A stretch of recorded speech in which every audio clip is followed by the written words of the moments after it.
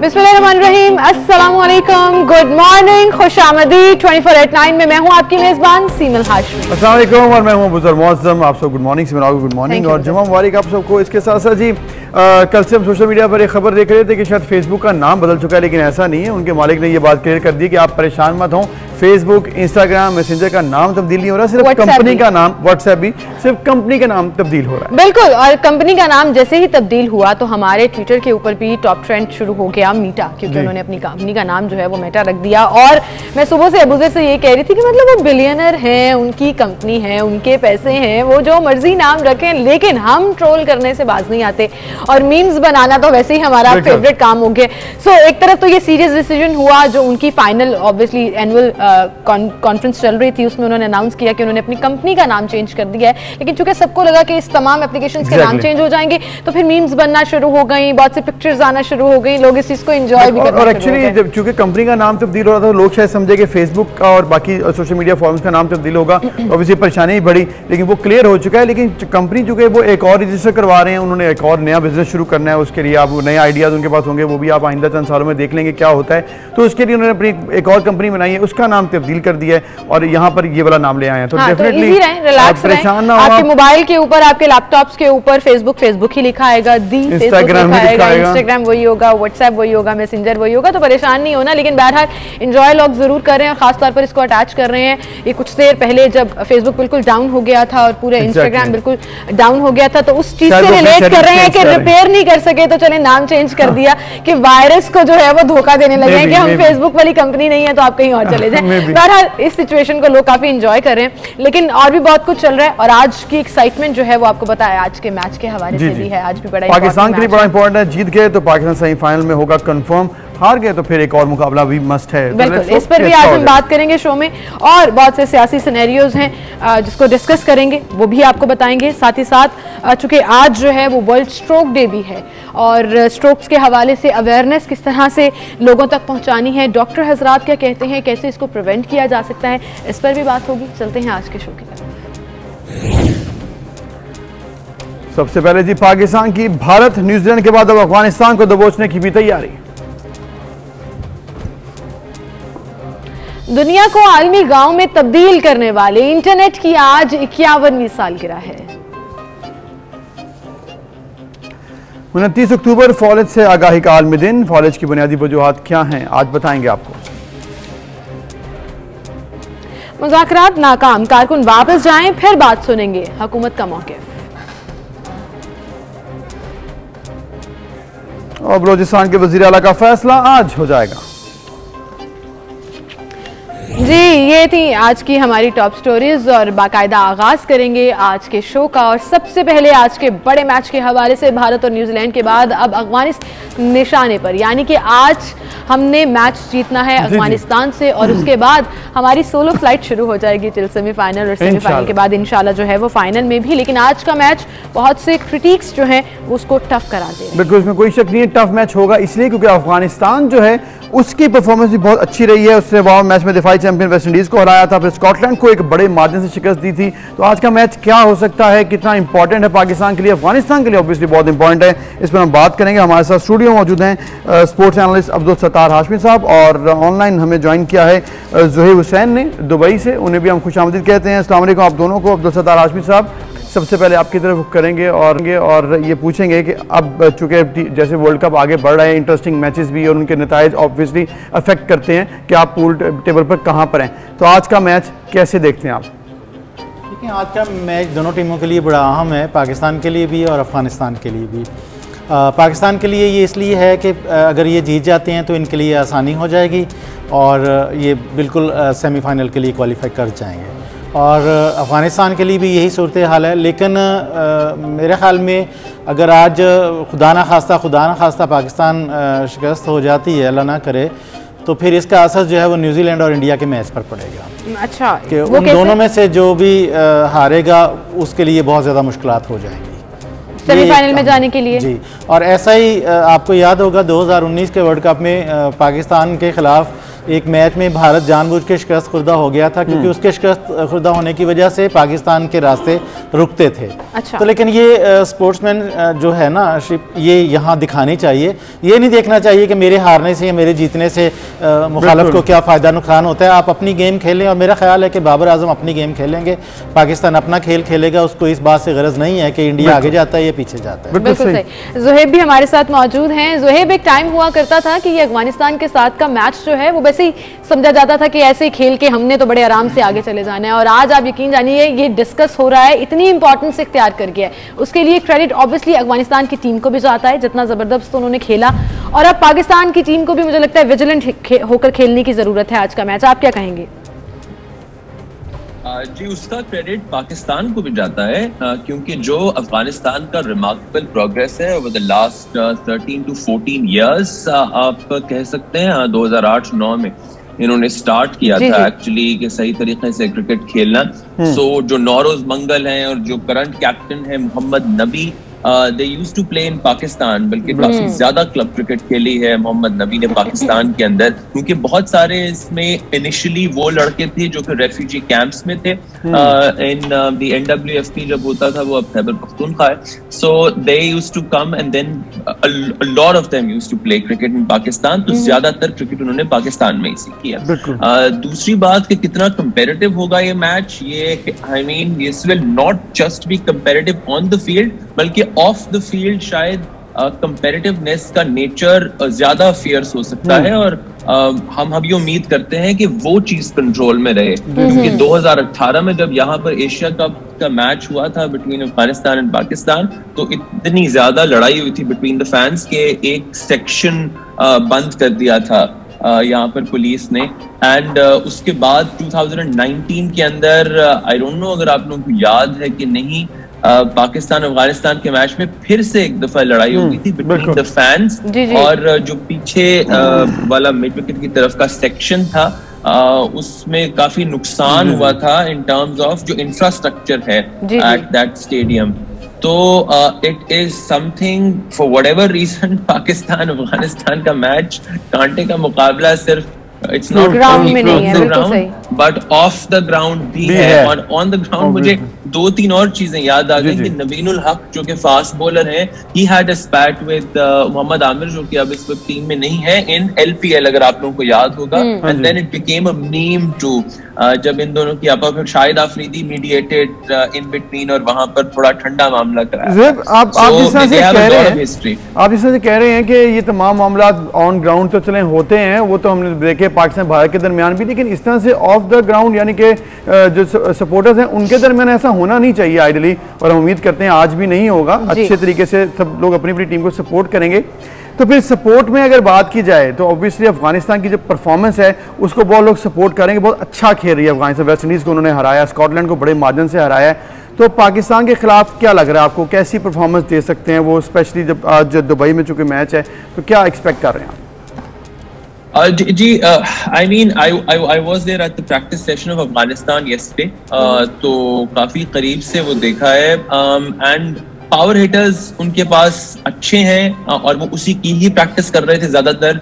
Hazratullah Zazai to start with जो left hander है उनका पीएसएल में बहुत ज़्यादा एक्सपीरियंस है। तो अनलाइक इंडिया की टीम अफ़गानिस्तान के प्लेयर्स ने पाकिस्तानी के अगेंस्ट भी खेला है और उनके साथ भी खेला है इन पीएसएल तो दे आर होपिंग के somebody like Hazratullah somebody like Mohammad Nabi uh, या Najib Zadran will come good today क्योंकि लांस क्लूजनर से भी बात हो रही थी तो वो यही कहते हैं कि उनकी बैटिंग इज़ द की क्योंकि अगर उनकी बैटिंग रन बना देती है uh, एक डिफेंडेबल टोटल आप कह लें या जो भी टोटल मिलता है उस तक पहुँचने के लिए कॉन्ट्रीब्यूशन कर लेते हैं तो बोलिंग इशू नहीं है। क्योंकि they bank on their spinners और स्पिनर्स के ऊपर जो ये तीन ट्रियो है उनका मुजीब जादरान राशिद खान और Nabi the captain himself they are very very confident वो टीम्स को हिलने नहीं देंगे। बिल्कुल और उनकी बॉलिंग लाइन इतनी स्ट्रांग है कि ऐसा लग रहा है कि शायद पाकिस्तान की बैटिंग लाइन अगर टिक ना पाई तो मुश्किल हो जाएगी। जिस तरह आशमी साहब आप क्या कहेंगे? दूसरी तरफ़ पाकिस्तान की टीम में भी तब्दीली एक्सपेक्टेड है। इमाद वसीम शायद आज ना खेल सकें कुछ चेंजेस आ सकें। आपको लग रहा है कि होगा होगा चेंज और हम कैसे सस्टेन करेंगे उनकी बॉलिंग को? देखें मेरे ख्याल में इस वक्त जो हाइप क्रिएट की जा रही है वो पेपर्स पर ही है। आप स्टेट्स की बात करें तो इसके साथ अफ़गानिस्तान के साथ हमारा एक टी ट्वेंटी हुआ है और वो हम जीते हैं। चार वनडे हुए वो हम जीते हैं। लेकिन क्लोज क्लोज से जीते थे क्लोज नहीं दो हज़ार उन्नीस वाला आपको याद है ना आखिर में तो हारते आते बचे हारते आते बचे थे ठीक है। लेकिन अभी तक आप देखें ना कि अफ़गानिस्तान का मुकाबला किसी बड़ी टीम के साथ नहीं हुआ है। ये आप ठीक है उनके हार्ड हिटर्स हैं और बहुत मारते भी हैं तो ओपोनेंट जो है उसका भी तो देखें ना कि क्या मैं क्या आप एक्सपेक्ट करते हैं कि शाहीन अफरीदी के पहले दो ओवर्स में उसका बल्ला जई का ऐसे ही चलेगा जैसा उन्होंने स्कॉटलैंड के ख़िलाफ़ चलाया था? तो क्वालिटी बॉलर के खिलाफ या क्वालिटी बॉलिंग के खिलाफ जाकर खेलना कोई आसान काम नहीं होता। और दूसरी बात जो हमें उनके स्पिनर्स कह के डराए जाते हैं तो आप राशिद खान को हम पीएसएल में भी खेले हैं और उनकी टीम तो क्वालिफाई नहीं करके कर पाई थी। लेकिन आपको याद है जब तक राशिद खान खेल रहे थे तो कोई टीम हिल नहीं सकती बेशक नहीं हिल पाई थी एक बंदे की वजह से होता है लेकिन चार ओवर्स की एक ज़ाहिर कोई टेक्निक भी तो है हमारे पास एक हाँ। भी तो होगी ना कोई। हम्म, हम्म। अब आप देखें कि दुनिया इस वक्त जितनी टीमें खेल रही हैं उनमें सबसे ज़्यादा चक्रवर्ती जो इंडिया के हैं वो सबसे खतरनाक बॉलर हैं। और पाकिस्तान ने इसको किस तरह से हैंडल किया था? तो यहाँ ज़ाहिर है हम किसी प्लानिंग के बगैर तो नहीं खेलने आएँगे ना? और टीम चेंजेस आपको लग रहा है इमाद वसीम अगर नहीं खेल पाते हैं इंजरी की वजह से तो उनकी जगह किसको खिलाया जाएगा? कुछ मेरा ख्याल है कि शायद अगर ये ऐसा है तो नवाज़ को मौका देना चाहिए। मोहम्मद नवाज़। मोहम्मद नवाज़ को मौका देना चाहिए क्योंकि उनकी बैटिंग और बॉलिंग दोनों दोनों ही, ही। काम बड़ी अच्छी कारामद साबित होती हैं। जेब सतार आशमी साहब तो कह रहे हैं कि जी अफ़गानिस्तान जो है वो पाकिस्तान उसको दबोच लेगा क्योंकि इनको ज़्यादा चांसेस नज़र आ रहे हैं। ऑब्वियसली पाकिस्तान बेटर टीम है और पाकिस्तान का प्रोफेशनली भी और एक्सपीरियंस भी बेहतर है। पाकिस्तान फेवरेट होगा, लेकिन अफ़गानिस्तान आपको पता है कुछ भी कर सकता है अच्छा भी खेल सकता है। इसके इम्पैक्ट्स क्या होंगे? अब थोड़ा इस पर भी बात करें कि पाकिस्तान अगर जीतता है तो पाकिस्तान तो सेमीफाइनल में जा रहा है। अफ़गानिस्तान अगर जीतता है तो फिर क्या हो सकता है? और बाकी जो टीम है उस पर क्या असर पड़ेगा इसका? I think of course Pakistan जीत जाता है तो I mean I be surprise कि पाकिस्तान टॉप फिनिश नहीं करेगा। पाकिस्तान सिर्फ़ सेमीफाइनल uh, में ही नहीं पहुंचेगा बल्कि as the best team of its group qualify करेगा। Um, जहाँ तक बात अफ़गानिस्तान की है वो अगर जीत जाता है तो फिर हाँ it just puts the group a bit open and क्योंकि जो स्केड्यूल है वो ऐसा है कि अभी तक इंडिया ने अपना सेकंड मैच ही नहीं खेला है। आ, बाकी सबने अब तकरीबन अपार्ट फ्रॉम न्यूजीलैंड उन्होंने स्टार्ट लेट किया था। तो सबने दो दो मैचेस खेल लिए हैं तो थोड़ा सा क्लियर हो गया है कि किस तरफ़ को ये टूर्नामेंट जा रहा है। So once India plays their second match तो फिर हमें बेहतर पता चलेगा कि ग्रुप टू किस तरफ़ जा रहा है। और पाकिस्तान इस वक्त बहुत हाई क्रिकेट खेला मेरे ख्याल से जो तीन teams that have look cut above the rest पहले हफ़्ते में वो ऑस्ट्रेलिया इंग्लैंड और पाकिस्तान है। बिल्कुल सही। ऑस्ट्रेलिया इंग्लैंड और पाकिस्तान है। वेल जुहेब आपने बिल्कुल ठीक कहा और हमें एज पाकिस्तानी फैंस जो हैं वो अपनी होप्स हाई रखनी चाहिए। लेकिन मैं रिक्वेस्ट करूँगी कि इस मैच को आ, मुकाबले का मैच और फ्रेंडली मैच ही रहने दें। आ, सिर्फ़ ग्राउंड के अंदर ही मुकाबला होना चाहिए। Exactly, स्टेडियम के अंदर या इवन सोशल मीडिया के ऊपर। Please do not troll on this match let it be a friendly match ये मेरी पर्सनल भी रिक्वेस्ट है।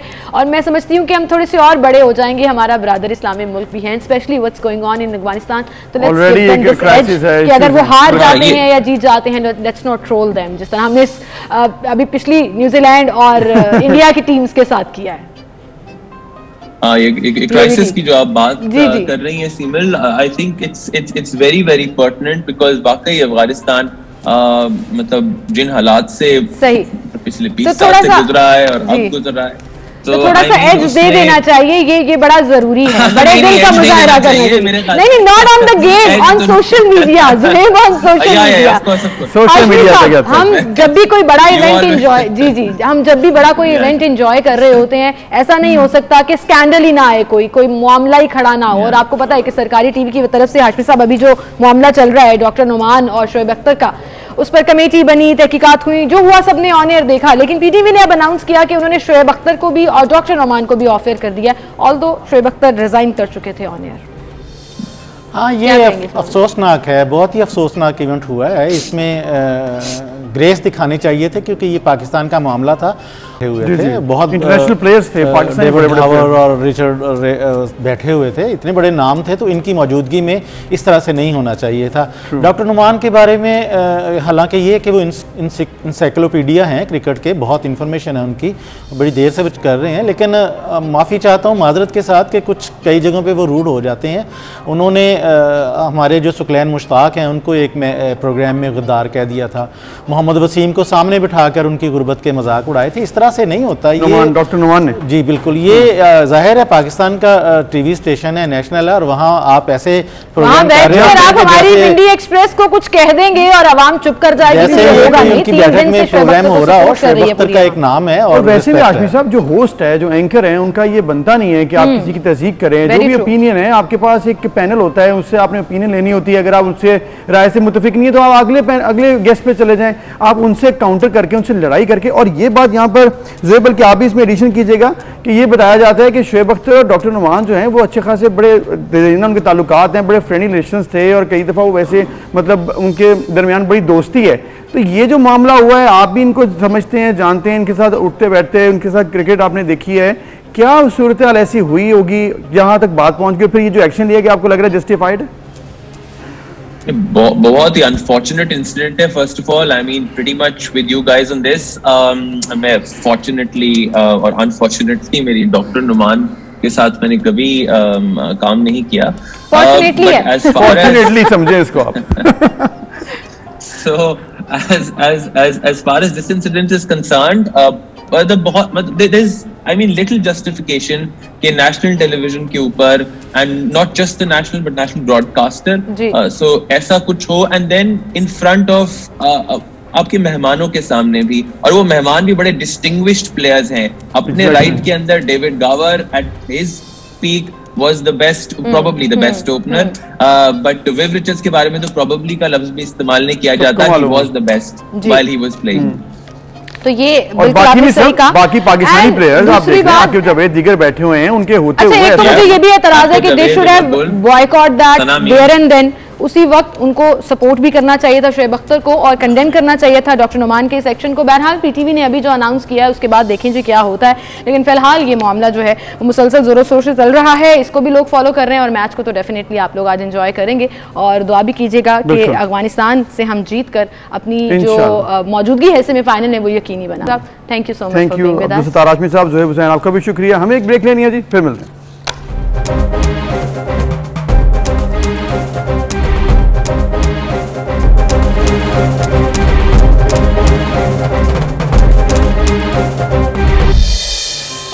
वेलकम बैक एक बार फिर से आपको खुश आमदीद कहेंगे। नाजिन सुप्रीम कोर्ट बार के जो कल इंतखाबात हुए उसका फाइनली रिज़ल्ट अनाउंस कर दिया और आसमा जहांगीर ग्रुप को कामयाबी हासिल हुई है।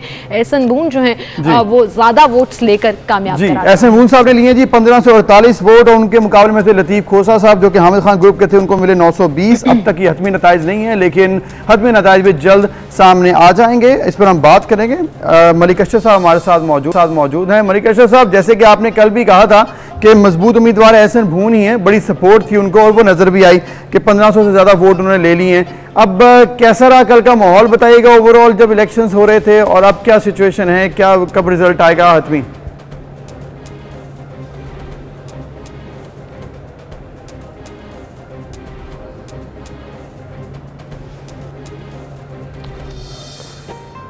जी, मलिक साहब, आप तक आवाज़ आ रही है?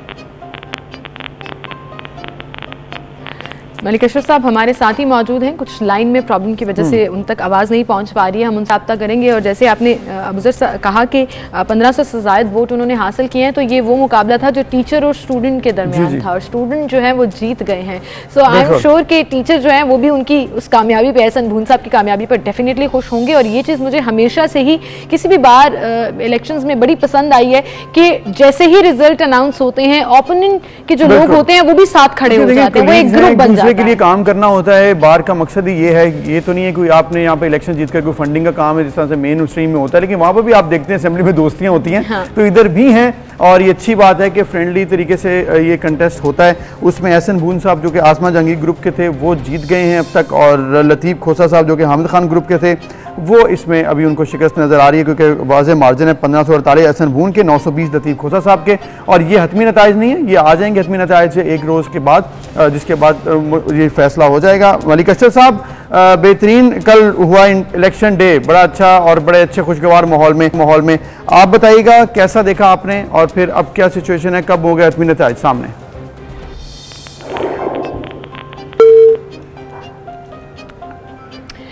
लाइन ड्रॉप हो गई और उनसे रबता नहीं हो पा रहा है। वे खुश नज़र आ रहे थे जब हम उनसे ऑफ़ एयर बात कर रहे थे कि उन्होंने पूरी इस इलेक्शन की कैंपेन को ना सिर्फ़ कवर किया इलेक्शन डे को कवर किया और वो कह भी रहे थे कि यहाँ पे जो इन्वायरमेंट था उसको बहुत ज़्यादा इंजॉय भी किया जाता है और उसकी गहमा गहमी जो है उसकी अपनी ही एक नौयत होती है।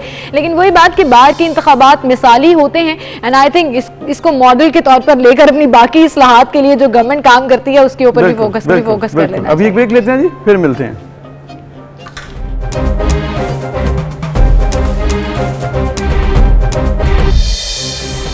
वेलकम बैक व्यूअर्स आज उनतीस अक्टूबर, और आज दुनिया भर में फॉलेज की आगाही के हवाले से आलमी आ रहा है। फॉलेज एक ऐसा मर्ज है जिसमें दिमाग को मिलने वाली खून की फरहमी या तो मअतल हो जाती है या फिर दिमागी शरियान फटने से खून रिसने लगता है। स्ट्रोक या फॉलेज का खतरा ज़्यादातर हाई ब्लड प्रेशर शुगर और जहनी दबाव के शिकार अफराद में होता है। बिल्कुल और आपने जैसे ज़िक्र किया कि शुगर हाई ब्लड प्रेशर ये वो बीमारियाँ हैं जिसकी रेशो हर गुजरते दिन के साथ पाकिस्तान में भी अगर बात करें तो बढ़ती चली जा रही है। डायबिटीज़ इस कदर पेनिट्रेट कर रही है कि अब आपको यंग एज में भी डायबिटीज़ डायग्नोज हो रही है और उसकी बहुत सी वजूहत हैं। माहरीन ये भी कहते हैं कि रोज़ाना वर्जिश ब्लड प्रेशर शुगर पर कंट्रोल से इस बीमारी से बचा जा सकता है लेकिन यही प्रॉब्लम है जो हम नहीं करते। वी डोंट डू एक्सरसाइज हम अपनी डाइट का ख्याल नहीं रखते हम ऐसे तली हुई चीज़ें खाते हैं स्पाइस खाते हैं वो तमाम चीज़ें खाते हैं जो हमें वक्ती तौर पर तो बहुत ज़्यादा फ़ूड को इन्हांस कर देती हैं आपके टेस्ट को इन्हांस कर देती हैं लेकिन इन लॉन्गर रन आपकी सेहत पे बड़े नेगेटिव असर डालती हैं। तो डाइट कितनी ज़रूरी है और कैसे ये आपको हेल्दी रखती है ये बहुत बड़ा सवाल बिल्कुल अब ये सवाल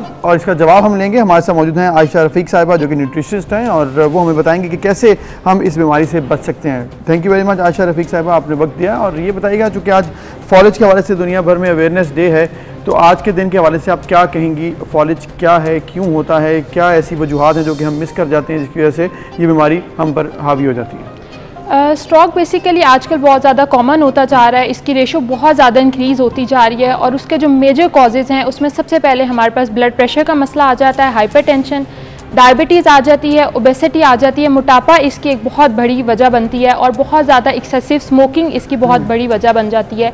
और इसी तरह से स्ट्रेस भी कहीं ना कहीं इसमें इसमें जो है वो अपना रोल प्ले कर रहा होता है। तो इस वजह से इसका एक निमोनिक बनाया गया है। स्ट्रॉक आज वर्ल्ड स्ट्रॉक डे है तो मैं इसका निमोनिक आपके साथ शेयर करूँगी और वो निमोनिक है fast F A S T F for face कि हम किस तरह से एक पेशेंट को डायग्नोज कर सकते हैं कि उसको स्ट्रोक का अटैक हो रहा है। अच्छा। सबसे पहले आप देखेंगे कि उसका फेस अगर टर्न होता हुआ आपको लग रहा है वो स्माइल कर रहा है तो उसका चेहरा आपको टेढ़ा नज़र आ रहा है। सेकेंड आपको आम, उसके जो बाजू हैं, उसके अंदर नमनेस फील हो रही है, उसके मूवमेंट नहीं हो पा रही है तो आप उससे डायग्नोज करेंगे कि उसको स्ट्रोक का अटैक हो रहा है। सेकेंड एस जो है आ जाता है फास्ट में। एस का मतलब है स्पीच उसको बोलने में प्रॉब्लम होना स्टार्ट हो जाएगी। And then T for time time बहुत ज़्यादा इंपॉर्टेंट है स्ट्रोक हम्म, में आप हम्म। जितनी जल्दी उसको डायग्नोज कर लेंगे जितनी जल्दी फिगर आउट कर लेंगे कि इस पेशेंट को स्ट्रोक का अटैक हो रहा है उसको जितनी जल्दी हॉस्पिटलाइज किया जाएगा उतना बेहतर वो जल्दी रिकवर करेगा उतना ही जल्दी जो है वो हम उसको प्रॉपर मेडिकेशन देकर प्रॉपर डाइट से रिकवर करवा बिल्कुल सही। रायशा आपने ये बिल्कुल ठीक कहा कि ये वो साइन एंड सिम्टम्स हैं जो आपको नज़र आना शुरू हो हम्म। जाते हैं। खासतौर पर चेहरे के ऊपर अगर आपको आ रहा है बात करते हुए या स्माइल करते हुए पेशेंट को उतना रियलाइज़ नहीं होता जितना देखने वाले को चल रहा होता है। पता चल रहा होता है। अच्छा आप मुझे ये बताइएगा कि हम स्ट्रोक से बचने के लिए क्या इकदाम कर सकते हैं? और खुदा ना खास्ता अगर स्ट्रोक हो रहा है तो फ़र्स्ट रिस्पॉन्स आपका यही है कि आपने हॉस्पिटल लेकर जाना है फॉरन इमरजेंसी में? ऐसा ही है। uh, सबसे पहले तो जब आपको लग रहा है आप मतलब ऑब्वियसली जो साथ वाला uh, होता है वो आपका ज़्यादा जो है वो ऑब्ज़र्व करके आपको बता सकते हैं। तो सबसे पहले तो आप हॉस्पिटल लेके जाएँ वहाँ पे बेसिकली आपको ब्लड थिनर्स दिए जाते हैं। हम्म। उसमें स्ट्रॉक बेसिकली दो तरह का होता है। एक होता है कि आपके ब्रेन में जो है वो क्लॉट बन जाता है। सर्कुलेशन हम्म। रुक जाती है। एक वो अटैक होता है। सेकेंड अटैक होता है कि वेन शरियान का फट जाना। तो एक स्केमिक स्ट्रॉक होता है एक हीमोरेजिक स्ट्रॉक होता है। तो ये दो कैटेगरीज होती हैं। तो उसके अकॉर्डिंग जो है वो पेशेंट का ट्रीटमेंट किया जाता है। सेकेंडली अगर हम डाइट की बात करें तो डाइट का बहुत ही ज़्यादा इंपॉर्टेंट रोल है right. पहले भी आफ्टर स्ट्रोक भी मतलब आप किस तरह से बच सकते हैं कि आपको स्ट्रोक का अटैक ना हो? और इन केस हम्म, ये बताइएगा। ऐसा ही है। और इन केस अगर आपको स्ट्रोक हो जाता है तो भी क्या जो बेटर डाइटरी चेंजेस हैं। कि आप उनको फॉलो करके किस तरह से अपने आप को रिकवर कर सकते हैं। तो उसमें सबसे पहले जो है वो सॉल्ट का इंटेक है। लेस सॉल्ट इंटेक होनी चाहिए। नमक का इस्तेमाल कम से कम करें। हमारे घरों में जो सबसे बड़ी मिस्टेक की जा रही होती है वो ये होता है कि किचन में तो जब खाना बन रहा है तब तो सालन में नमक डल ही रहा है। उसके बाद जो डाइनिंग टेबल पे नमक की शीशी रख दी जाती है हाँ और उसके बाद उस कच्चे नमक को इस्तेमाल किया जाता है। सबसे ज़्यादा नुकसान तो है मतलब है। लड़ाइयाँ हो रही है जी नमक कम डला है और इस बात पे घरों में लड़ाइयाँ हमने तो सुनी है। ये तो इतना मतलब मसला है कि लोग इस बात को समझ नहीं पा रहे कि नमक हमारी कितनी बीमारियों की वजह बन चुकी है और खासकर। आपने टेबल के ऊपर जो नमक टेबल सॉल्ट ये बहुत बड़ा इशू है। जी। ऐसा ही है। इसी तरह से हाइपर जिन पेशेंट्स को हाइपरटेंशन है उनको बहुत ज़्यादा जो है वो ध्यान रखना चाहिए कि उनका जो ब्लड लेवल्स हैं ब्लड प्रेशर का लेवल्स है वो विद इन रेंज होना चाहिए। क्योंकि इसकी जो बेसिक रीज़न है वो यही होती है कि ब्लड प्रेशर शूट करता है और उसकी वजह से आपकी ब्रेन में क्लॉट बनना स्टार्ट हो अच्छा। जाता है। इसी तरह से शुगर का यूज़ बहुत ज़्यादा हो रहा है। हमारे हर चीज़ में चीनी का इस्तेमाल किया जाता है। जितनी भी बॉटल्स हैं जितने भी प्रोसेस फ़ूड हैं इन सब के अंदर जो है वो हम चीनी का इस्तेमाल कर रहे होते हैं। तो चीनी का इस्तेमाल कम से कम करें नमक का इस्तेमाल कम से कम करें। विटामिन बी ट्वेल्व का रोल बहुत ज़्यादा इंपॉर्टेंट है स्ट्रोक की प्रिवेंशन में। विटामिन बी ट्वेल्व जो है वो आपकी जो वेन जो डैमेज हो चुकी हैं जिनमें क्लॉट बन गया है सर्कुलेशन रुक गई है उसको रिपेयर करने में डैमेज उसका ठीक करने में बहुत ज़्यादा हेल्प आउट करती है। अच्छा। और वाइटामिन बी ट्वेल्व के क्या सोर्सेज हैं उसमें सबसे मेजर आपके पास जो है वो फ़िश आ जाती है चिकन है और बहुत ही इकोनॉमिक सोर्स जो है वो आपके पास एग है। अच्छा। तो ये और मशरूम्स में भी वाइटामिन बी ट्वेल्व की बहुत अच्छी मकदार जो है वो मौजूद होती है। तो आप इन चीज़ों का इस्तेमाल लाजमी करें।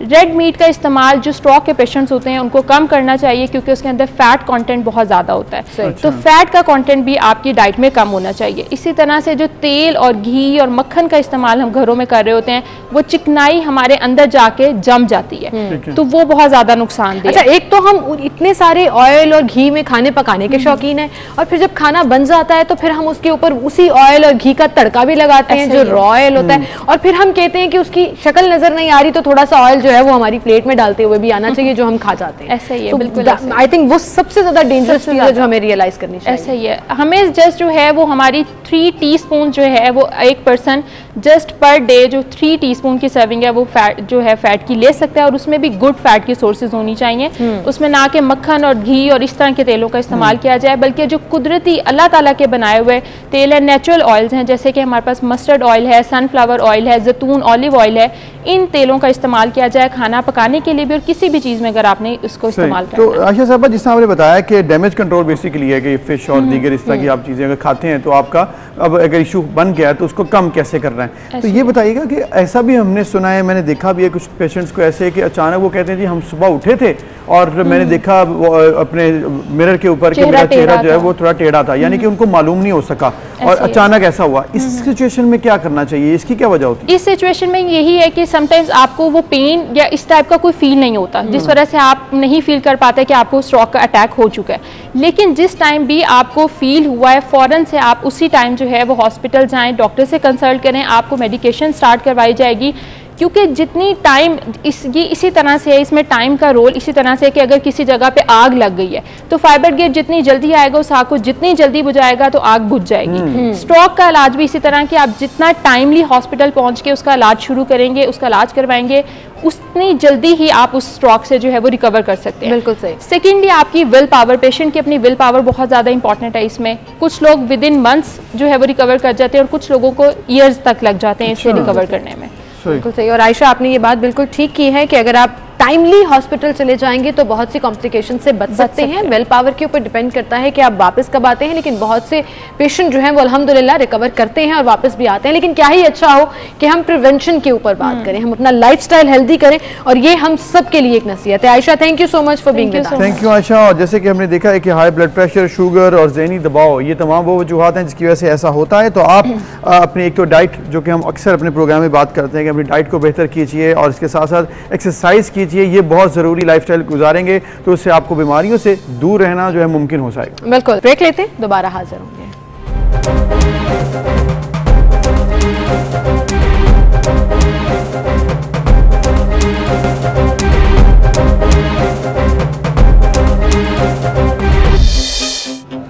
वेलकम बैक एक बार फिर से आपको खुश आमदीद कहेंगे और नाजरन, कल वज़ीर इमरान खान ने कौमी सलामती कमेटी का अजलास आज तलब कर लिया यानी कि कल बुलवाया और आज इजलास होगा और कल अदम जमात जो एहतजाज कर रही है सड़कों पर उसकी गैर कानूनी सरगर्मियों से पैदा होने वाली सूरत हाल के पेश नज़र ये इजलास तलब किया बिल्कुल इसके साथ साथ चूँकि जी आम शहरी बहुत परेशान हो रहे हैं रेंजर्स ऑलरेडी तलब की गई है और एहतजाज की सड़कें ब्लॉक हैं। इसके बाद की सूरत हाल और फिर बलुचिस्तान के आज वजी अला भी मुंतब हो जाएँगे। इस पर भी हम बात करेंगे। पी डी एम प्रोटेस्ट कर रही हैं। अंजुम रशीद साहब हमारे साथ मौजूद हैं। अंजुम साहब असल बहुत शुक्रिया आपने वक्त दिया। अंजुम साहब ये जो सूरत हाल है ओबियसली एहतजाज हो रहा है लेकिन दूसरी जानब जो आवाम परेशान एहतजाज और फिर सड़कें ब्लॉक इस पर आप क्या कहेंगे? क्या कहेंगे जो सिचुएशन क्रिएट देखिए आवाम की ज़िंदगी जो है वो बहुत दर्दनाक अजियतनाक हो चुकी है पूरे जीटी रोड पे। लाहौर से लेके इस्लामाबाद पर जो है अब स्कूल बंद हैं दफ्तर बंद हैं कारखाने बंद हैं अस्पताल बंद हैं हर चीज़ बंद है और लोगों का जीना जो है वो दोबर हो गया है और आगे बहुत बड़ा खून खराबा नज़र आ रहा है। एक तो ये कि ये लोग जो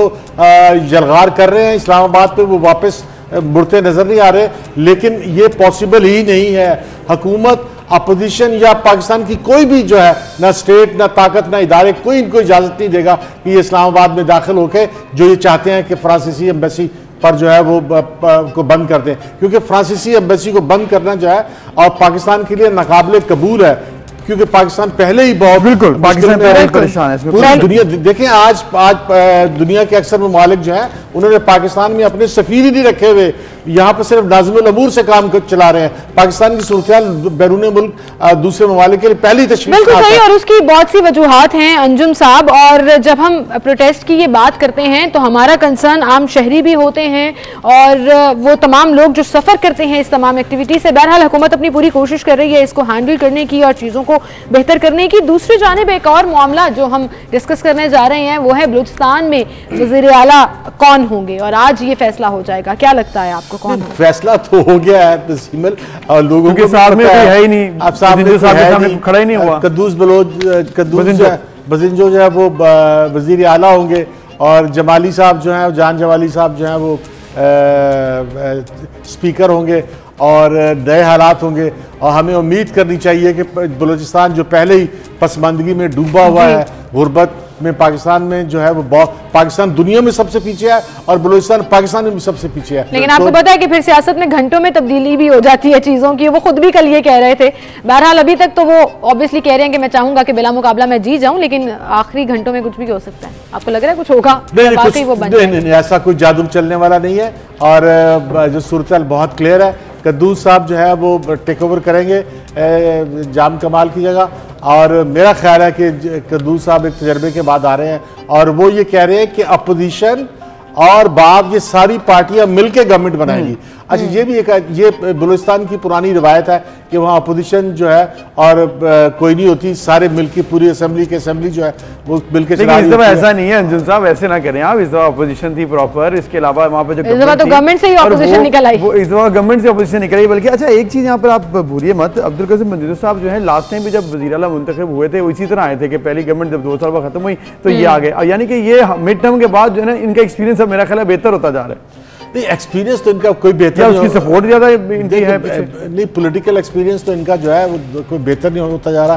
पार्टी जो है वो party as a party exist नहीं करती। सारे इंडिविजुअल जो है वो आ, अपनी जाति पॉलिटिक्स करते हैं जाति सियासत करते हैं जाति फेवरेट तो है ना बुजिंजो साहब। देखें पहले वज़ीर अला नॉमिनेट हुए मिड टर्म के बाद फिर ये स्पीकर बन गए। अब स्पीकर खत्म होकर अब ये दोबारा से वहाँ पर वज़ीर अला आ रहे हैं। मतलब फेवरेट तो फिर है कल तक फेवरेट जो है जाम कमाल थे आज ये हो गए लेकिन बात यह है कि इसमें बलूचिस्तान के आवाम के लिए या तो कोई नई पॉलिसी देते कोई नई बात करते कोई नई बात करते। तो लेकिन जाम कमाल साहब ने जो पहले अच्छा, काम जाम कमाल साहब के बड़े फ़ैन है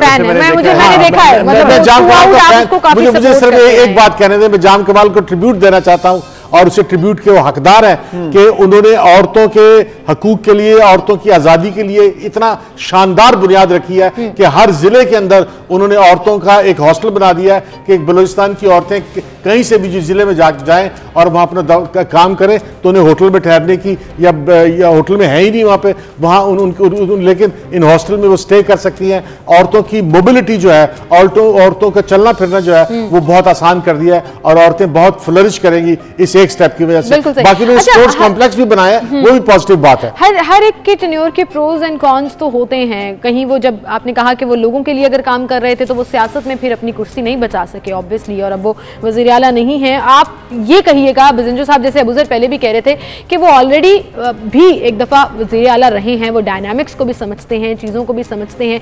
और अगर हम मैच के टर्म्स में बात करें तो मिडिल ऑर्डर मुझे लगता है कि अब उनको मिलता है क्योंकि मिडिल में आते हैं वो पहले भी आए और अभी हाँ, भी आए। आपको लगता है वो कैरी फॉरवर्ड करेंगे तमाम प्रोजेक्ट्स को जो ऑनगोइंग है जो चल रहे हैं बजिंजो साहब? एक एक एक छोटी सी बात मैं बजिंजो साहब से रिक्वेस्ट करना चाहूँगा कि कि वो जो उन्होंने औरतों के हॉस्टल बनाने शुरू किए हैं वो खत्म ना कर दे। प्लीज़ नहीं, continue बलूचिस्तान की। औरतों को मत मारे लग रहा है, उन- उनको ज़िंदगी दे वो ये हॉस्टल कंप्लीट करें। आप जो इशू देख रहे हैं ना कि ये शायद डेवलपमेंट प्रोजेक्ट्स के हवाले से या फिर जो वेलफेयर के प्रोजेक्ट्स हैं वो ऐसे चलते रहेंगे जो यहाँ पर इशू था ना बेसिकली वो बलोचिस्तान की असम्बली के अंदर के अरकान के अंदर का मसला था।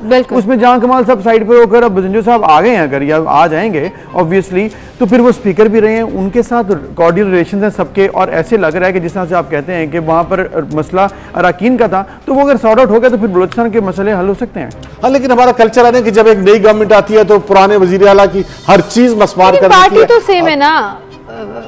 पार्टी तो सेम है। आपको लगता है कि इनको भी पार्टी क्या सेम है? क्या पार्टी कल पार्टी का लीडर वो था आज पार्टी का लीडर ये है कल पार्टी जो है वो पार्टी नहीं है वो इंडिविजुअल्स हैं हम्म। और वो इलेक्टेबल हैं और वो हमेशा गवर्नमेंट में रहने वाले इलेक्टेबल हैं वो हमेशा गवर्नमेंट में, में रहते हैं। लेकिन बात यह है कि ये सिर्फ़ इतनी रिक्वेस्ट है कि जो पिछले काम चल रहे अच्छी request किया उनका उन कामों को जारी रखें बर्बाद न करें। होपफुली ऐसा ही होगा इसमें कोई शक नहीं है। और बजिंजो साहब जो है वो बड़े काबिल आदमी हैं। हम उम्मीद करते हैं कि वो चीज़ों को आगे लेकर चलेंगे। लेकिन इसके साथ साथ अब थोड़ा ओवरऑल भी पॉलिटिक्स पर बात कर लें फेडरल लेवल पर और फिर पंजाब में जिस वक्त पॉलिटिक्स हो रही है स्पेशली बलोचिस्तान के बाद बात की जा रही है कि तो पंजाब में तरीके बात, फिर उसके अलावा जो महँगाई के हवाले से भरपूर जल से और रैली निकालने जाने की बात भी की जा रही है पीडीएम की तरफ़ से। इसको आप कैसे देखते हैं? क्या और मजीद ज़ोर पकड़ेगी? देखिए पीडीएम जो है असल मसला इस मुल्क का जो है वो इस्लामाबाद पर जलगार करना नहीं असल मसला इस मुल्क का महँगाई है। महँगाई ने आवाम की ज़िंदगी और मुल्क की जो है तरक्की को रोक कर रख, दिया है। और ये हुकूमत ने जो है पिछले तीन साल में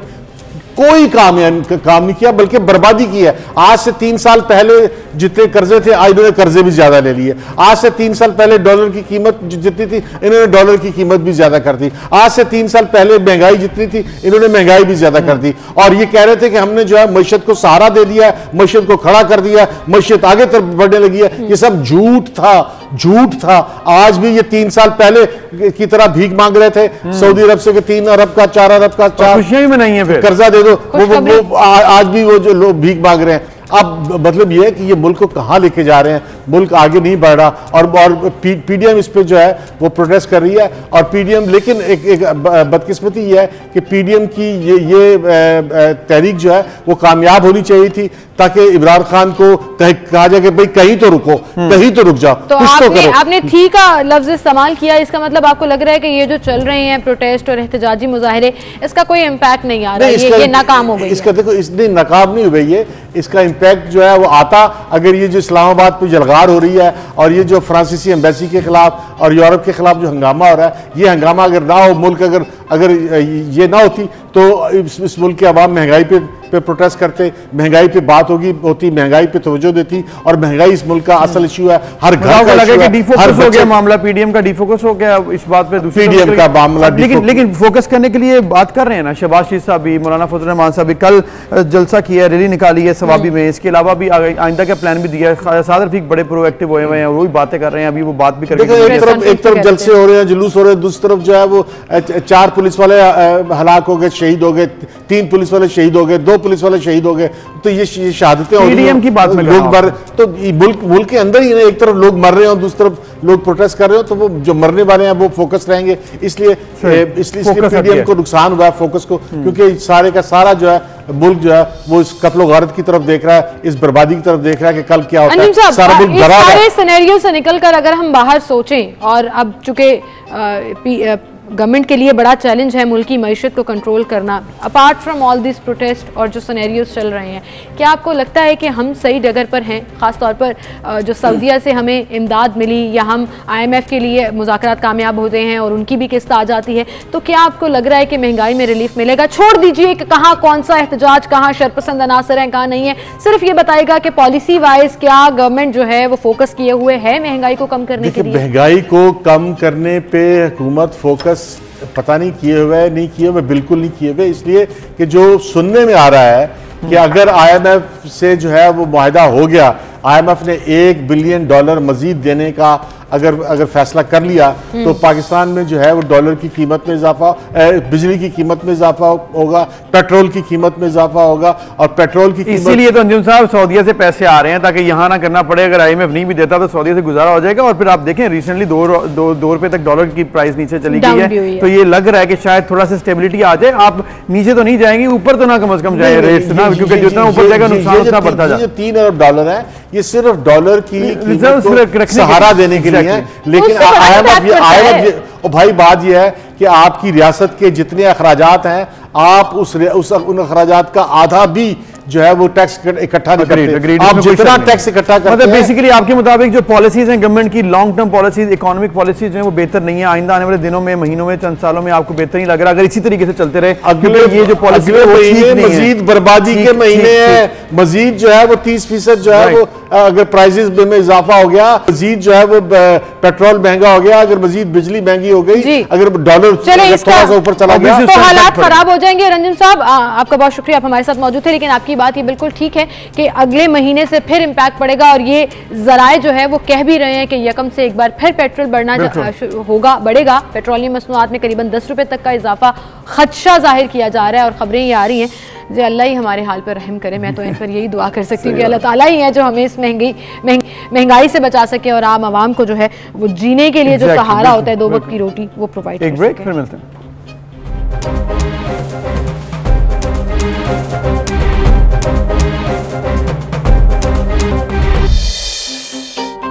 वेलकम बैक व्यूअर्स दुनिया को आज हम ग्लोबल विलेज इसीलिए कहते हैं क्योंकि सब एग्जिटेड हैं और दुनिया अमेरिका से लेकर जापान तक जो भी कुछ हो रहा है, आपको मिनटों के अंदर बल्कि सेकंड्स में मालूम हो जाता है। उसकी बड़ी वजह यही है और उसकी बेसिक जो वजह है वो है इंटरनेट और इसी वजह से आज दुनिया ग्लोबल विलेज कहलाती है। इंटरनेट का आज आलमी दिन मनाया जा रहा है और इसको आज इक्यावनवीं सालगिरह मुबारक हो। जी हैप्पी बर्थडे इंटरनेट ये वो फैसिलिटी है जिसके तहत न सिर्फ़ आपने कहा कि इंफॉर्मेशन मिल जाती है, बल्कि रबते हो जाते हैं। अब दुनिया में सात समंदर पार कहीं कहीं भी बैठे हों।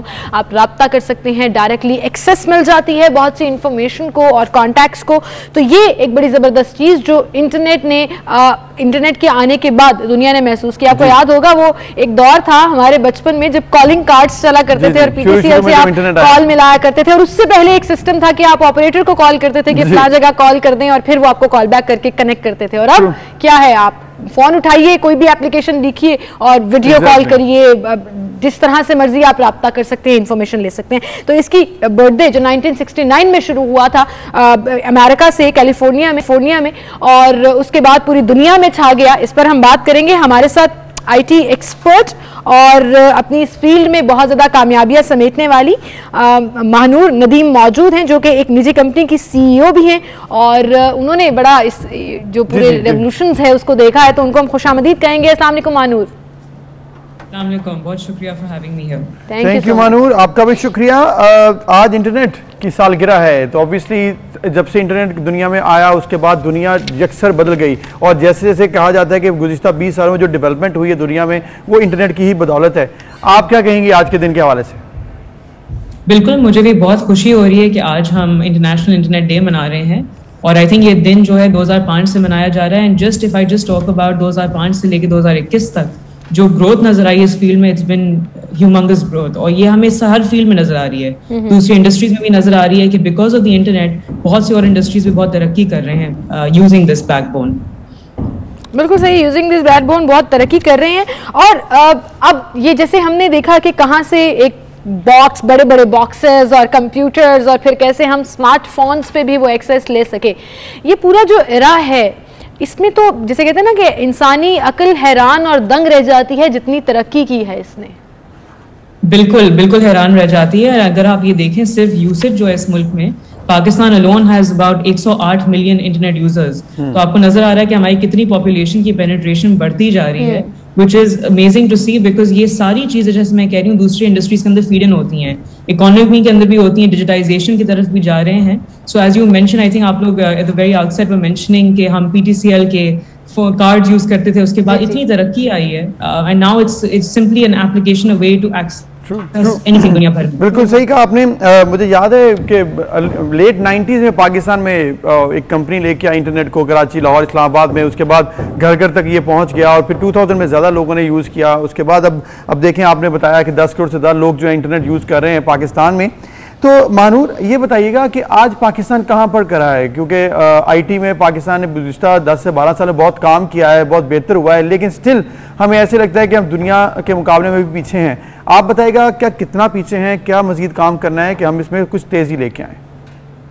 देखें आई थिंक हम थोड़े बहुत पीछे जो थे वो पिछले एक से डेढ़ साल के अंदर काफ़ी हद तक मिटिगेट हुआ है बिकॉज़ कोविड uh, की वजह से हमें ऑनलाइन जाना पड़ा था। वेदर इट स्कूल्स जिन्होंने ऑनलाइन क्लासेस की थी पिछले एक से डेढ़ साल या वर्क फ्रॉम होम के बारे में बात कर लेते हैं जितने भी ऑफ़िस थे दे वर कम्प्लीटली ऑनलाइन लेकिन हम सब रिमोटली काम कर पा रहे थे दैट ओनली बिकॉज़ जैसे आपने बोला कि हर घर तक इंटरनेट पहुँच रहा है। The only problem is कि पाकिस्तान एज यू नो माशाल्लाह is a very big country इसमें टोपोग्राफी भी काफ़ी डाइवर्स है जिसकी वजह से इट्स नॉट इजी कि आप कोने कोने तक इंटरनेट लेके जा सकें लेकिन इस वक्त बहुत काम किया जा रहा है। अगर मैं प्राइवेट सेक्टर की बात करूँ पब्लिक सेक्टर की बात करूँ मिल के ऐसी पॉलिसीज़ आ रही हैं फंडिंग भी बहुत आ रही है जिसकी बदौलत बहुत तेज़ी से आपको ग्रोथ नज़र आएगी in the IT field as well as well as the internet बिल्कुल सही। और मानू, जैसे अभी अबू सर ज़िक्र कर रहे थे कि हमने इंटरनेट का इस्तेमाल और आईटी बेस्ड जो डिजिटलाइजेशन है, उस पर बहुत ज़्यादा फोकस भी करना शुरू कर दिया है। तो be it our government departments और प्राइवेट सब कंप्यूटराइजेशन की तरफ़ जा रहे हैं इंटरनेट एक्सेस की तरफ़ जा रहे हैं और इसको बेहतर करने के लिए काम कर रहे हैं। आपको क्या लगता है? जैसे भी आपने कहा कि अभी पॉसिबल नहीं है, पाकिस्तान के बहुत से ऐसे एरियाज़ हैं जहाँ इंटरनेट की एक्सेस उस तरह से पॉसिबल नहीं है। अब तो 3G और 4G और 5G के ऊपर भी बात हो रही है, लेकिन अभी भी कुछ ऐसी जगह हैं जहाँ पर सिंपल एज भी नहीं आता कि सिग्नल्स उस तरह से पूरे नहीं आ पाते हैं। आपको क्या लगता है कितना टाइम लगेगा इस इस चीज़ इस गैप को कवर करने में? देखिए आई थिंक जो आप कह रही हैं बिल्कुल सही कह रही हैं कि एज कनेक्टिविटी भी नहीं मिल पाती बट अगर हम देखें मोबाइल ऑपरेटर्स इस वक्त बहुत काम कर रहे हैं कि अपना जो इक्विपमेंट है और अपनी जो रीच है उसको बहुत जल्दी बढ़ाएँ। सो 5G इंटरनेट के ऊपर भी और डेटा कनेक्टिविटी के ऊपर भी काम किया जा रहा है। Even in terms of satellite internet के थ्रू हम काफ़ी हद तक कोने कोने तक पहुँच रहे हैं मुल्क के। तो इवन अगर हमारे पास मोबाइल सिग्नल्स के लिए प्रॉब्लम्स आ रही है लेकिन एटलीस्ट हमारे पास कोई ना कोई ज़रिया होता है जिसकी बदौलत हम इंटरनेट तो दे सकते हैं। इसमें टाइम लगेगा लाइक ऐसा बड़ा मुल्क है कुछ साल लगेंगे लेकिन हम बिल्कुल बेहतरी की तरफ़ चल पड़े हैं। और ये इनशाला बहुत तेज़ी से आपको नज़र आएगा कि ये इजाफा भी आएगा। और बहुत जल्दी इंटरनेट पेनिट्रेशन मुल्क भर में मिलना शुरू हो जाएगी। इसमें कोई शक नहीं है कि पाकिस्तान की गवर्नमेंट भी और आम कंपनीज़ जो हैं वो भी इस पर काम कर प्राइवेट कंपनीज़ भी। डिजिटल पाकिस्तान की बात होती है। मानूर डिजिटल पाकिस्तान ये जो कॉन्सेप्ट है गवर्नमेंट का इस पर ऑब्वियसली प्राइवेट कंपनीज़ भी काम कर रही हैं। उससे आपको क्या लगता है कि पाकिस्तान में अगर डिजिटल पाकिस्तान पर मजीद काम हो तो क्या तब्दीलियाँ आ सकती हैं पाकिस्तान में? अगले पाँच सालों में अगर इस पर वाकई काम हो क्योंकि सिर्फ़ पेपर्स के अंदर काम होना और चीज़ होती है लेकिन अगर आप प्रैक्टिकली उसको इम्प्लीमेंट करें तो फिर चीज़ें डिफरेंट नज़र आती हैं। डिजिटल पाकिस्तान आई थिंक सबसे बेहतरीन इनिशिएटिव है।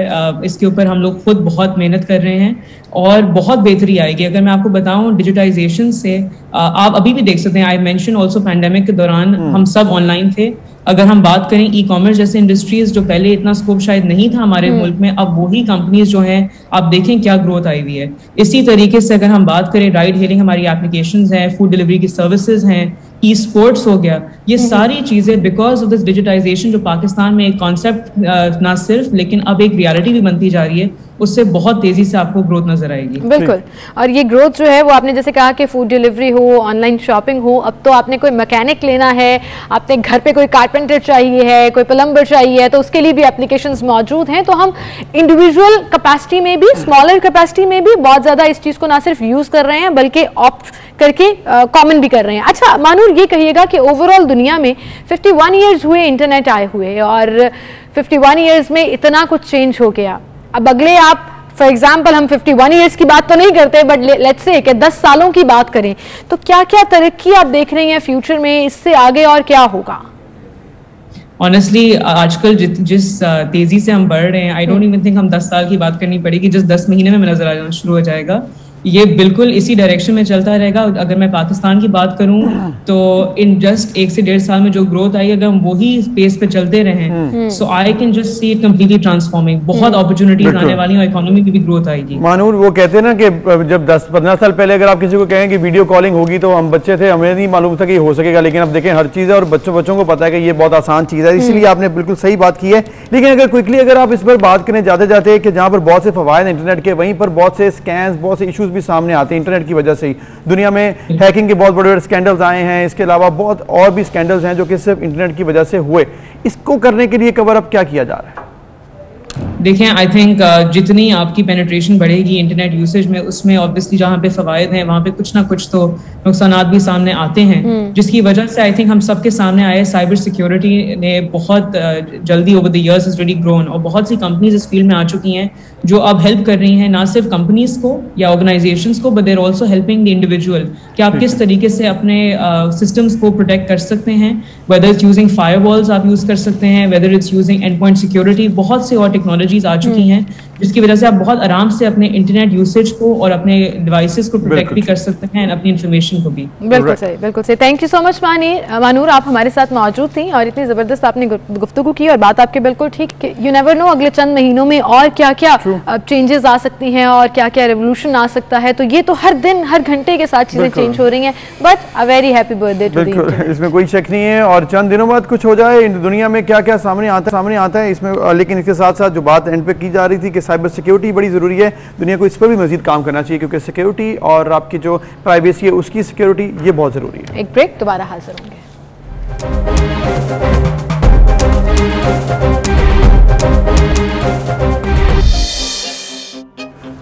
वेलकम बैक एक बार फिर से आपको खुश आमदीद कहेंगे और ना हमारी कोशिश होती है कि हम कुछ ऐसे सेगमेंट्स करें जिसमें आपकी सिर्फ़ अवेयरनेस ही नहीं हो बल्कि बहुत से न्यू पॉइंट्स जो हैं वो आपको सुनने को मिले और ख़ास तौर पर आज के जैसे इन्वायरमेंट में बहुत ज़्यादा एनजाइटी है बहुत ज़्यादा डिप्रेशन है लोग फ्रस्ट्रेट हुए हुए हैं। उसको कैसे पॉजिटिव साइड पर लेके जाना है कैसे बेहतरी की तरफ़ जाना है वो मोटिवेशन कैसे तलाश करनी है ये सबसे और सबसे बड़ा मसला ये कि पाकिस्तान में इसकी अवेयरनेस नहीं है लोग समझते नहीं है कि उनको डिप्रेशन है और उसका फिर इलाज भी ज़रूरी है। ये बाकायदा एक बीमारी है और दुनिया में इस पर बहुत रिसर्च है इस पर काम हो रहा है लेकिन अफसोस की बात यह है कि पाकिस्तान में उस तरह से इसको सीरियसली नहीं लिया जाता इसलिए ये हम इस पर बात करेंगे। आज राया रफ़ीक साहब हमारे साथ मौजूद हैं साइकोलॉजिस्ट हैं।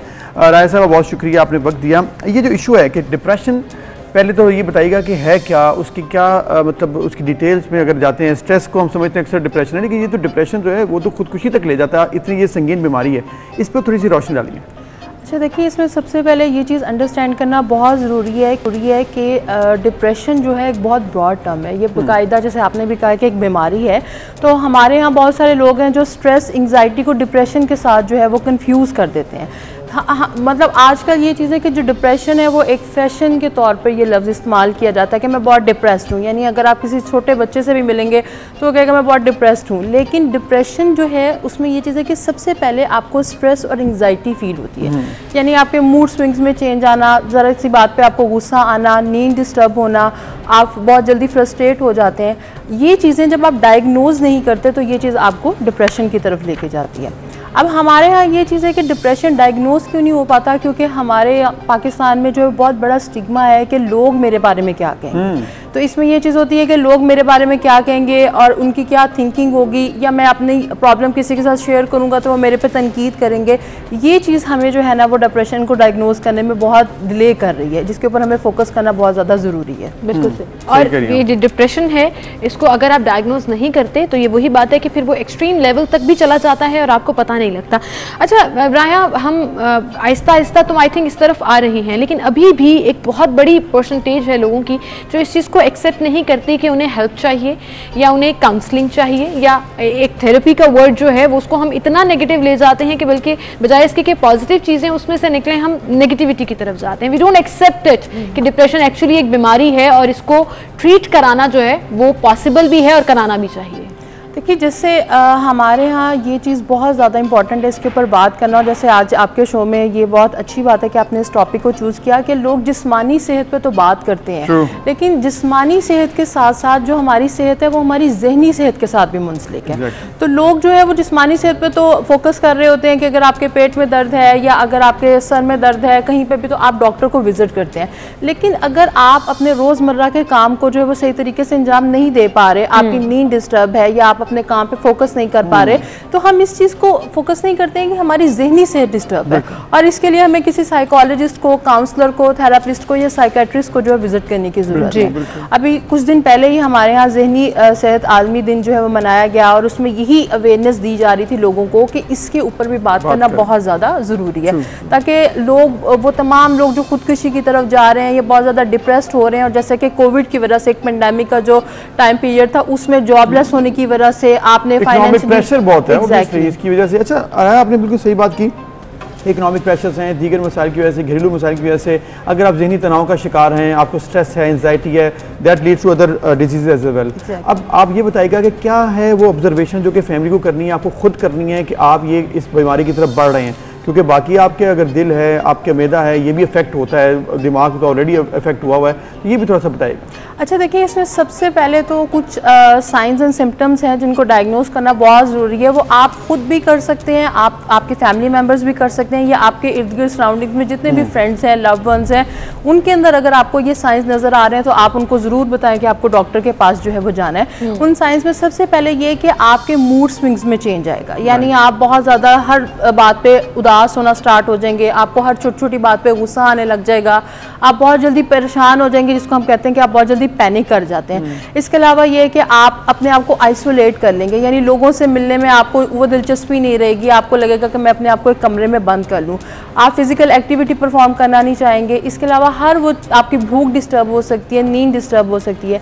ये वो साइंस है जिनको आप डायग्नोज करके जो है आप देख सकते हैं कि ये इंसान भी रिश्तेदारों का आपके करीबी लोगों का काम है कि वो आपको हम्म। बताएँ कि आपके अंदर ये मसला आ रहा है और इस चीज़ को बुरा ना समझिए कि अगर आपको मसला आ रहा है तो फिर आप इसके लिए डॉक्टर या साइकोलॉजिस्ट के पास अगर जाते हैं तो उससे आपकी ऑब्वियसली मदद ही होनी है एग्जैक्टली exactly. और हमारे यहाँ ये चीज़ है कि लोग यही अगेन वही बात के लोग सोच क्या मेरे बारे में क्या सोचेंगे हाँ। यानी अगर अपनी फैमिली में आप किसी को बताते हैं कि मुझे भूख नहीं लग रही है मेरे सर में दर्द है मैं बहुत उदास हूँ बहुत परेशान हूँ या मैं बहुत ज़्यादा लो फील कर रहा हूँ तो वो हम्म। आपको अगर आप उसको बताएँगे कि मैं किसी साइकोलॉजिस्ट के पास जाऊँगा तो हम सबसे पहले उसको कहते हैं कि क्या तुम पागल हो हाँ। तो ये ये, ये लेबल जो है ना वो हम सबको रोकता है कि आप साइकोलॉजिस्ट और ये स्टीरियोटाइप थिंकिंग है जिसको चेंज करना है। अच्छा राया ये बताइएगा कि ज़रूरी नहीं है कि आप एक प्रोफेशनल के पास ही जाएँ आप साइकोलॉजिस्ट के पास ही जाएँ आप, आप वहीं पर जाकर काउंसलिंग करें।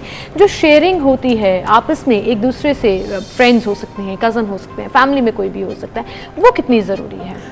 अच्छा देखिए सबसे पहले तो जैसे अगर हम देखें कि एक्सप्रेसिव होना बहुत ज़रूरी है अगर आप देखें वो तमाम लोग जो नॉन एक्सप्रेसिव हैं अपने हम्म। आप को एक्सप्रेस नहीं करते यानी शेयर नहीं करते ये प्रॉब्लम देखने में आता है कि उनमें ज़्यादा होता है हम्म। लेकिन अगर हम ये बात करें कि किसी प्रोफेशनल के पास जाना इतना ज़रूरी नहीं ऐसा नहीं है आप देखिए एक लेवल तक एक हद तक तो अपनी प्रॉब्लम्स शेयर exactly. कर सकते हैं ना फैमिली मेंबर के साथ आप अपने फ्रेंड्स के साथ करें फैमिली के साथ लेकिन एक टाइम आता है जब वो आपको अंडरस्टैंड नहीं कर रहा होता कर उस टाइम पे आपको ज़रूरत होती है एक प्रोफेशनल की यानी एक साइकोलॉजिस्ट की एक काउंसलर की जो आपके पे थेरेपीज अप्लाई करेगा और बहुत दफ़ा ऐसा होता है कि वही बात आपके घर वाले आपको समझा रहे होते हैं आपको समझ नहीं आती लेकिन अगर आपका काउंसलर आपको बताएगा क्यों क्योंकि आपकी एक रेपो बिल्ट हो जाती है आपने बात की काउंसलर आप उससे बात करें और ये ट्रेंड पाकिस्तान में भी बहुत कम है और स्टडी के मुताबिक जब मैं देख रहा था। तो अमेरिका में इस पर बहुत काम किया जाता है। वहाँ पर तो कहते हैं हर तीसरा शख्स जो है वो डिप्रेशन का शिकार है। और हकीकत में अगर देखा जाए पाकिस्तान में तो बताया जाता है छठा सातवां शख्स होगा लेकिन अगर आप ऑन ग्राउंड रियलिटी देखें तो पाकिस्तान में हर दूसरा शख्स जो है उसको कोई ना कोई जहनी तनाव उसको है और वो फील कर रहा है लेकिन वो उसको बता नहीं पा रहा और वो उसको ऑन रिकॉर्ड नहीं है ऑन स्टैट्स नहीं है। हम्म। इस पर आप क्या कहेंगे कि यहाँ पर हकीकत में आप जो देखती हैं लोगों के अंदर वो फिर कितना ज़्यादा मसला है? अच्छा देखिए, इसमें सबसे ज़्यादा हमारे यहाँ पाकिस्तान में ये प्रॉब्लम क्यों है? क्योंकि हम यहाँ लोगों को अपने जो है ना कंपेयर करते हैं। हम ये देखते हैं कि फलां शख्स के पास ये चीज़ है मेरे पास ये चीज़ नहीं है उसके पास अच्छी जॉब है उसके पास अच्छी गाड़ी है। बाहर की कंट्रीज़ में ये चीज़ होती है कि वहाँ पे डिप्रेशन ये लोगों के साथ कंपैरिजन वाला नहीं है। वहाँ पे डिप्रेशन और तरह के उनके पास लव वंस नहीं है। वहाँ लोगों के पास एक दूसरे के पास टाइम नहीं है। हमारे यहाँ लोग तो मौजूद हैं लेकिन हम उनके साथ शेयर नहीं करते। यहाँ हमारे अंदर जेलसी स्टार्ट हो जाती है। अगर हम बात करें तो बिल्कुल ऐसा ही है कि हर पाँच में से जो चार इंसान है उनको जो है वो डिप्रेशन है लेकिन अगेन वही बात है कि लोगों में अवेयरनेस नहीं है। लोग डॉक्टर के पास साइकोलॉजिस्ट के पास जाना पसंद नहीं करते और इस चीज़ को प्रमोट नहीं किया जाता। यानी हम ये बात नहीं करना चाहते कि मुझे जो है वो डिप्रेशन है तो मैं किसी साइकोलॉजिस्ट के पास एक सेशन लेना चाहता हूँ वो कहते हैं ये पैसा आप फजूल जो है ना छुपाते हैं बातों को, बताते हैं बात को। बहुत दफ़ा हमारे पास ऐसे क्लाइंट्स आते हैं या ऐसे पेरेंट्स आते हैं जो बताते हैं कि जी मैं आज बच्चे को स्कूल से छुट्टी करवा के आपके पास सेशन लेके आया हूँ ताकि हमारे फैमिली मेंबर्स को जो है ना पता लगे कि हम साइकोलॉजिस्ट को विज़िट कर रहे हैं। इसी तरह से ये है कि अगर हम छोटे बच्चों के अंदर देखें तो ये चीज़ उनमें भी बहुत ज़्यादा होती है। जैसे स्पेशल बच्चे हैं कुछ भी तो एक डिप्रेशन सब फेस कर रहे होते हैं लेकिन इसके ऊपर बात कोई नहीं करना बिल्कुल सही। अच्छा ये अक्सर ये भी कहा जाता है कि ये गैर ज़रूरी खर्चा है। अ, मैं थोड़ा अगर इकोनॉमिक साइड की भी बात करूँ तो कहा जाता है कि ये जिनके पास पैसा है वो कर सकते हैं लेकिन एक आम आदमी शायद ये अफोर्ड नहीं कर सकता। Is it expensive to have therapy have sessions और अपने आप को मेंटली मेंटल हेल्थ जितनी ज़रूरी है और उसके लिए ट्रीटमेंट कराना क्या ये बहुत एक्सपेंसिव है? देखिए एक्सपेंसिव वाली बात अगर ये है कि जब आपको ये पता है कि मेरी सेहत ख़राब है ठीक है? तो अगर आप किसी दूसरे डॉक्टर के पास जाते हैं और उसके लिए मेडिसिन लेते हैं किसी भी बीमारी के लिए ठीक है? अगर अल्लाह ना करे आपको ये पता लगे कि आपको कैंसर है क्या आप ये चीज़ सोचेंगे कि ये एक्सपेंसिव है और मुझे इसका ट्रीटमेंट नहीं कराना? एग्जैक्टली ठीक है? तो depression- दिमाग अफेक्ट हो रहा है ये तो इसको। आप तमाम बीमारियों से ज़्यादा उम्मीद क्योंकि यहाँ से शुरू हो रहा है आपने खुद कहा कि बाकी बीमारियों से हो जाती हैं। तो ऑब्वियसली ये बड़ा ज़रूरी है एक्सपेंसेस हमारे यहाँ पर हैं लेकिन लोग वो भी नहीं कर रहे हैं जिसके पास है खर्चे के लिए वो भी, वो भी नहीं नहीं कर रहा। प्रॉब्लम ये कि लोग अवेयर नहीं है। तो नहीं आप क्या कहेंगी राया कि लोगों को कितना ज़्यादा इस पर विजिलेंट होना चाहिए, फैमिली को, क्योंकि लोग आपको देख रहे हैं, सुन रहे हैं, इस इस फॉरम को इस्तेमाल करते हुए लोगों को आप बताएँ कि ये कितना ज़रूरी है, बात करना और किसी से हेल्प लेना। देखिए सबसे पहले तो हमें इस चीज़ को अंडरस्टैंड करना बहुत ज़रूरी है कि अपनी जहनी सेहत के बारे में बात करना कोई शर्मिंदगी नहीं है ठीक है? हमें इस शर्म का जो वो एक पर्दा है या इस स्टिग्मा को रिमूव करना है ठीक है? सबसे पहले आप अपनी सराउंडिंग्स में इस चीज़ को स्टार्ट करें। लाइक आप हैं मैं हूँ हमारे इर्द गिर्द जब हमारे से कोई भी फ्रेंड है आके बात डिस्कस करता है तो हम उसको जज नहीं कुछ नहीं कुछ नहीं हाँ। हमारा तो ट्रेंड है ना कि वो नहीं तुम्हें कुछ नहीं है क्या हो गया? या हम उसको जज करना स्टार्ट कर देते हैं कि अच्छा आजकल ये इस तरह से कर रहा है या इसको कंपैरिजन कर रहा है। नहीं आप जब उसकी बात सुने आप उसको फ़ौरन से मशवरा दें कि आप किसी काउंसलर को विज़िट करें किसी साइकोलॉजिस्ट को विज़िट करें। अब इसमें सबसे पहले यही कि इसी तरह से हम अपने प्रोग्राम्स में जो है इस टॉपिक के ऊपर बात करें स्कूल्स कॉलेजेस के अंदर इसके ऊपर हम बात करें ताकि स्टूडेंट जब स्टडी लेवल से कॉलेज लेवल से उनके अंदर अवेयरनेस पैदा हो कि हाँ अगर मेरी मूड स्विंग्स में प्रॉब्लम आ रही है तो मुझे रोज करना है और इसके इसका जो है वो ट्रीटमेंट बिल्कुल सही। और ये एक्चुअली एक डिज़ीज़ है इसको रियलाइज़ करना है। डिनाइल मोड से बाहर निकलना होगा। एक मैसेज जो आप इस प्लेटफॉर्म से देना चाहें आवाम को वो क्या होगा? देखिए, मैं यही मैसेज देना चाहूँगी कि वो तमाम लोग जो इस तरह की साइंस एंड सिम्टम्स को अपने अंदर ऑब्ज़र्व करें, अपनी सराउंडिंग्स में या अपने किसी भी प्यारे में तो वो एज सुन एज पॉसिबल किसी भी साइकोलॉजिस्ट को काउंसलर को और साइकेट्रिस्ट को विज़िट करें। और जहनी सेहत के बारे में बात करना शर्म नहीं है mental illness is nothing to be ashamed of बेहतरीन बात की आपने राया रफ़ीक, आपका बहुत शुक्रिया। और ये बात कि आप ऑब्ज़र्व करें अपनी फैमिली में, अपने दोस्तों में, रिश्तेदारों में, कहीं पर अगर आपको किसी के बिहेवियर में कुछ दिन बाद, यानी एक दो दिन की कोई बात नहीं लेकिन आपको लग रहा है कि ये, मामला चल रहा है ज़्यादा तो फिर ये परेशानी की बात हो सकती है तो इसके लिए उसको बचाना बहुत ये हमारी ज़िम्मेदारी है कि अपना ख्याल रखें और बाकी और बाकी सबका ख्याल रखें। इसके साथ ही आपसे इजाज़त चाहेंगे अपना ढेर सारा ख्याल रखिएगा। मुझे और अबूजर को इजाज़त दीजिए। अल्लाह हाफिज़।